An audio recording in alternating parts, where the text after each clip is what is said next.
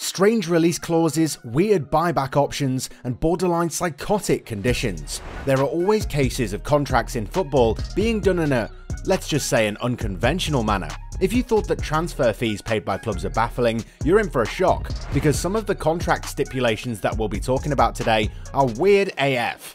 Before we get started, we want to share the sponsor of today's video. The OneFootball app is the ultimate football platform and is a must-have for every football fan, so that you can follow all of your favourite leagues, teams and players all the time right from your phone. You can be sure to turn on notifications for specific players to be instantly alerted when they score a goal or when they are involved in other breaking news. It's the best and easiest way to stay up to date with everything football. Click the link in the description down below to download the app right now. You won't regret it. There was a time when Cardiff City were owned by Sam Hammam, who was as eccentric as Elon Musk. The Lebanese businessman relinquished control of the club in early 2022 and was well known for inserting unique clauses inside his players' contracts. However, one stipulation that was given to Spencer Prior was disgusting and borderline criminal. The player was asked to eat sheep testicles, which are a delicacy in Lebanon. The former Manchester City man was never one to back down and says that he did try the delicacy, which was later revealed to be slow cooked chicken. These days, taking a flight to the moon isn't that difficult if you have the money. Mars is the next destination anyway, so a lunar landing is nothing but a temporary stopover. However, back in the 90s, a flight to space was still a pipe dream. In 1999, the Sweden International joined Sunderland from Valencia. In the midst of that, the player was eager to sign up for the first ever commercial flight to space. The Black Cats, though, were not too enthused by the idea and inserted a clause in his contract that would not allow him to leave the outer limit of our planet's orbit. To date, though, Schwarz has not been able to leave lower Earth orbit. Giuseppe Reina was a German striker who spent all of his career in the Bundesliga. There was a time when he was considered one of the best forwards in the country. In 1996, he signed for Arminia Bielefeld. It was there where he convinced his new management to insert a clause inside his contract, which would see him become the owner of a new house for every year he spent with the team.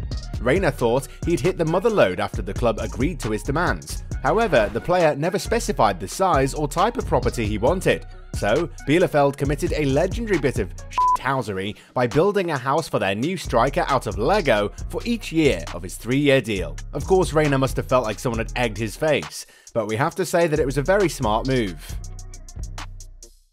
Everyone likes to look out for the best interests of their family, and footballers are not different. In 1999, Congo international Guy Mien joined Eintracht Frankfurt, but before signing the deal with the 2022 Europa League winners, he asked the club to arrange cooking classes for his wife as part of the deal. The midfielder claimed that his performances will improve considerably if his wife's culinary skills were on point. Smart man.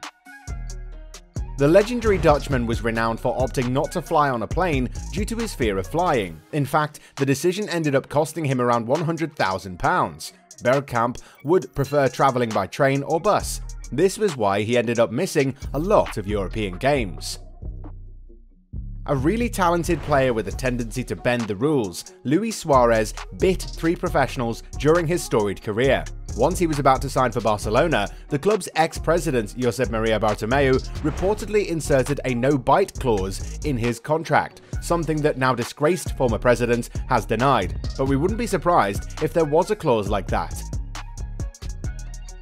Super Mario was always a complicated career. During his time at Manchester City, the striker partied with fireworks so much that he nearly burned down his house. So before he signed for Liverpool, the Reds made sure to insert a good conduct clause in his contract to make sure that the Italian wouldn't step out of line. Well, he didn't do much in Merseyside either.